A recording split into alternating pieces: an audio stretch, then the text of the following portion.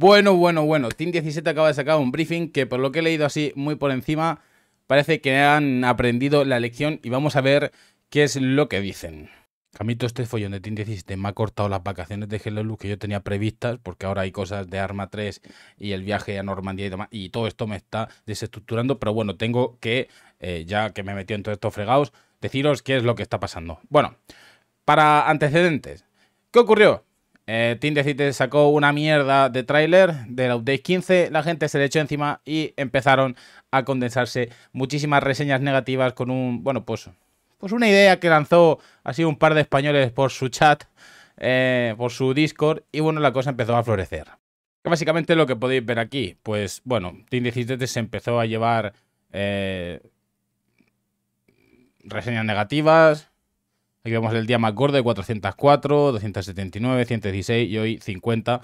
Y vemos que positivas que son, bueno, la gente que les lame el culo, pues apenas eh, no llegaban a un centenar.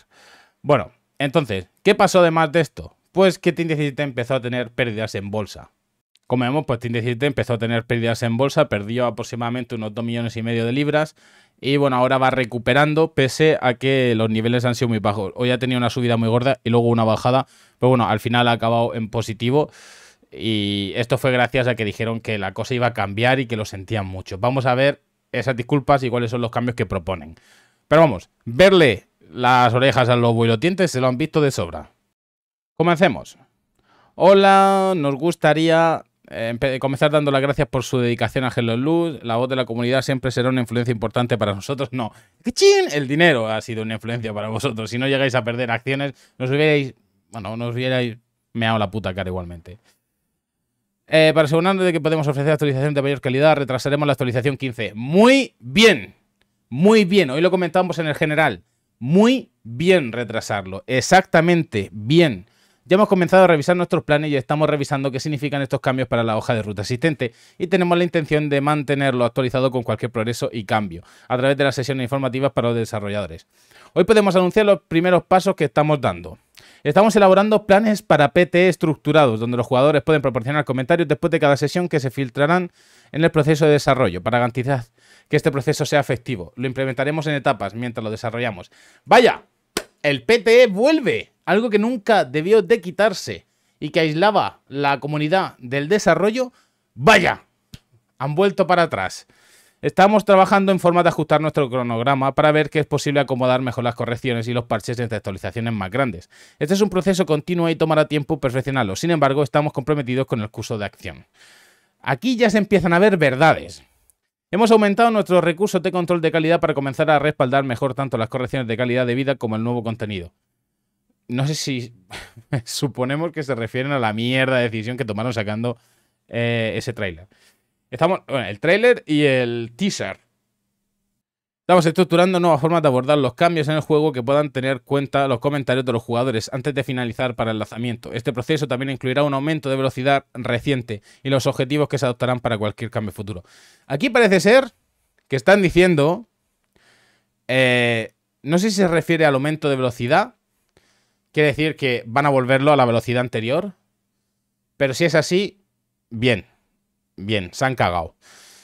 Gracias a todos los que brindaron comentarios sobre la actualización 14, hemos leído todos los comentarios y observado muchos de los mismos problemas. El parche para la actualización 14 no incluye todos los problemas planteados, pero estamos trabajando para solucionar muchos con miras a detectar errores adicionales para la actualización 15, con una fecha revisada que se anunciará. Planificado para el 22 de junio, el parche de la actualización 14 se enfocará en varios problemas de UX-UI, así como también en las actualizaciones de la mecánica prona y la locomoción del jugador, movimientos. Aceleración del sprint reducida. El parche de actualización 14 introducirá una locomoción refinada para que los jugadores prueben que reducirá la aceleración del sprint, cuyo objetivo es combatir la experiencia actual y evitar que los jugadores zigzaguen para evitar los disparos. No sé si van a reducirlo o si van a hacer un sprint temporal con un cooldown. Cualquiera de las dos cosas me vale.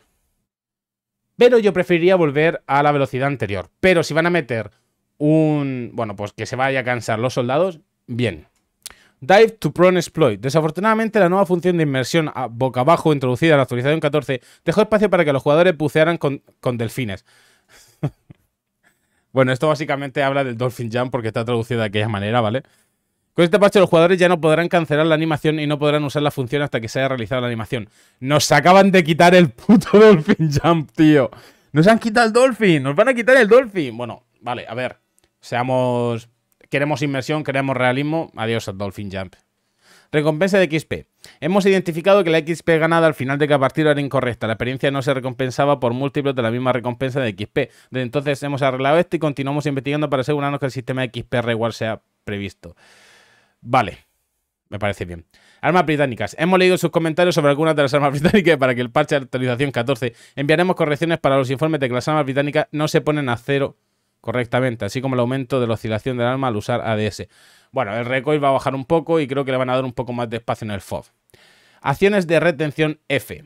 Hubo un error que causaba que varias interacciones de la tecla F, curación, ingresar un vehículo nada, se cancelaran al abrir mapa. Esto ya se ha solucionado con la excepción de la función de desmontaje que es la prevista.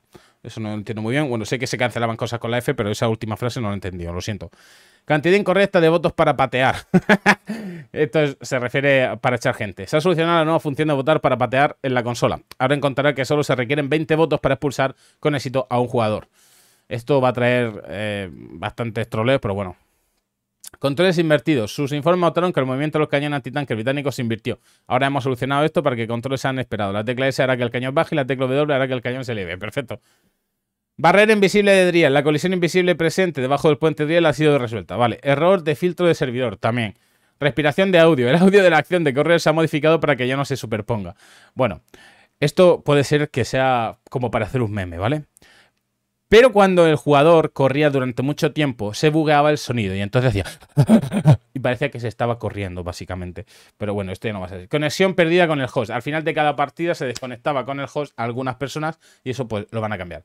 Otros problemas conocidos. Algunos problemas han sido más difíciles de reproducir o requieren más tiempo para garantizar que podamos evitar una, solución exitosa. Todavía estamos investigando los siguientes problemas. Luciana Gasser, bueno, el Firefly, el casco frontal del tanque Sherman de la fuerza británica se puede penetrar con armas de alta penetración, lo que permite a los jugadores destruir el tanque desde frente. Eh, eso estaba rarillo, sí. El alemán Idrial Map Dates. Debido a nuestro proceso de desarrollo existente para mantener la integridad de nuestro archivo, no podemos cambiar las fechas de la pantalla de carga de mapas cambiada accidentalmente para Adriel y el alemán con este parche. En cambio, el cambio se implementará una vez que se publique la actualización 15. Bueno, esto era porque en la, en la pantalla de carga que te pone alemán y abajo te pone la fecha en la que se desarrolló esa batalla, estaba cambiada. Driel tenía un cambio y no era Driel, sino que era el alemán y entonces pues están las fechas cambiadas en los mapas y esto por lo visto es más difícil que cambiar el Dolphin Jump. Un nuevo plan para el futuro. Hay otros problemas y correcciones adicionales que planteamos usar esta vez para comenzar a abordarlos antes de lanzar contenido nuevo y los comunicaremos una vez que hayamos analizado cómo podemos entregarlos. Estamos increíblemente agradecidos de ser una comunidad tan apasionada. No, os habéis llevado... Es que estas últimas frases sobran. Puedes poner fácilmente, nos habéis hecho ver nuestros cambios y pedimos perdón. Y ya está, tío. Y ya está. No necesitas más. No necesitarías mentir más. Pero bueno, Quiero leeros una cosa que pone en el briefing, que no pone aquí. Y es que hay un momento en el que pone Plans are being put together for monster... aquí. We understand that your truth is earned with actions, no use words.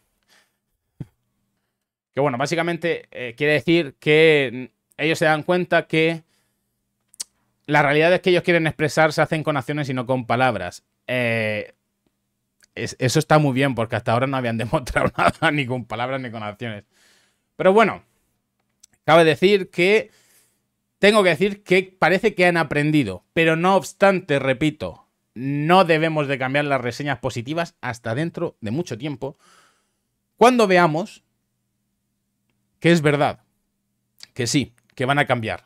Entonces, sí podríamos considerar cambiar las reseñas. Así que bueno, eso es todo. Voy a dejar porque ya viene el primer evento de Arma 3 que lo jugamos dentro de media horita. Eh, no, un poco más, perdón. Eh, comenzamos las reuniones de, oficiales y demás antes de la simulación. Y bueno, pues espero que veáis esos vídeos porque me parecen muy interesantes los eventos que estamos haciendo de Arma 3 y os podéis eh, unir en el disco de Memphis Gaming. Bueno, pues muchísimas gracias chicos, nos vemos en el siguiente vídeo. Os voy a dejar por aquí, habréis visto que han salido unos vídeos en mi cara, un logo. El logo es para que os suscribáis si os da la gana y el vídeo es para que veáis uno de los vídeos si os apetece. Nos, nos vemos próximamente, un besico de este disléxico y nos vemos en el siguiente vídeo.